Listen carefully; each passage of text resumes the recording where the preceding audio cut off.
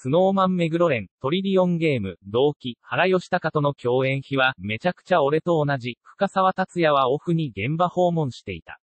スノーマンメグロレン、原吉高との共演は、不思議な感覚、この日は目黒主演のドラマ、トリリオンゲームについてトークが展開。本作で目黒は、ジャニーズ事務所の同期であり、同じユニット、宇宙6として活動していた原吉高と共演しており、二人の共演に関しては深沢も、俺も嬉しかった、と声を弾ませた。目黒は、原が出演することになってまずすごい不思議な感覚というか、と話し改めて原との関係を、僕の動機なんですけど、オーディションで何千人といる中で謎にオーディションの日に原と話してて。そこから奇跡的に二人とも受かって、ずっと二人で色々頑張ってやってきてた、と説明。